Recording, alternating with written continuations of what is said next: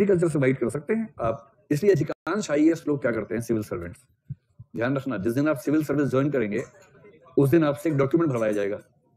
उससे पूछते हैं, आपकी अभी तक की सारी चल, अचल संपत्तियाँ कितनी हैं? ताकि अगले साल तुलना कर सके। वो उसी दिन भरवाते हैं फॉर्म भर के देना पड़ता है कि मेरी कुल चल, अचल संपत्तियाँ कितनी हैं। तो लोग क्या होता है कि जब आई में ज्वाइन करते हैं, उससे पहले सियाने हो जाते हैं। आपसी आदान प्रदान सियानेपन का हो जाता है। जितने लोगों ने ज्वाइन करना है, सबका व्हाट्सएप ग्रुप होता है। सीनियर से बातचीत हो रही होती है सीनियर से बोलते हैं, हमसे गलती हो गई तुम मत करना, गलती ध्यान फिर वो कहते हैं कि ऐसा करो, दिखा दो कि सौ तोले सोना है तुम्हारे पास। और ये है और वो है। कह भैया, हमारे पास सौ ग्राम भी नहीं है, सौ तोले कहाँ से कहते हैं, कोई बात नहीं, तुम लिख दो कि है। माँ के पास है, माँ को नानी ने दिया था, नानी को उसकी माँ ने दिया था, ऐसे करके लिख दो। ऐसे करते करते घूमते घूमता आ रहा है। इससे क्या होगा, अभी तो सरकार तुम्हारे पास वैसे भी नहीं आएगी ढूँढने के लिए। तुम्हारे पास है ही कभी ढूँढने आएगी सरकार।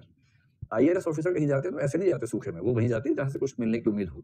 देश का विकास करना है ना तो ऐसे किसी के पास चले जाएँगे मुँह उठा के ऐसे नहीं होता। है ठीक ठाक पहले देखते हैं किसके पास जाने से देश का विकास होगा, ऐसे जाते हैं। तो आपके पास दो तीन साल आएगा नहीं, और दो तीन चार साल में सिविल सर्वेंट्स उतना इकट्ठा कर लेते हैं।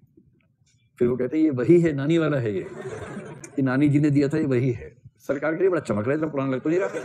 कहते नहीं, बीच में एक्सचेंज हो गया था पॉलिश करवा दिया था। हाँ ये सब करके और जिस जिस सिविल सर्वेंट का स्पाउस नौकरी नहीं करता है, वो सब खेती करते हैं। इसका मतलब समझ गया आप लोग? अगर स्पाउस नौकरी करता है, फिर तो फंस गया मामला। ये भी नौकरी, वो भी नौकरी, फिर तो वो दिक्कत है। फिर पेरेंट्स खेती कर लेते हैं। और यदि कोई स्पाउस नौकरी नहीं करता है तो उसकी खेती होती ही होती है। फिर उसके पास खेती की ज़मीन दस, बीस एकड़, पचास एकड़ होती है, उसमें फ़सल लहलाती है उसमें हमेशा। कई कई करोड़ रुपए की आय आती है खेती की इनकम से। अब खेती में इनकम टैक्स होता नहीं है। तो सब वाइट हो जाता है। तो सिविल सेवाओं में खेती की बड़ी अच्छी मानी जाती है।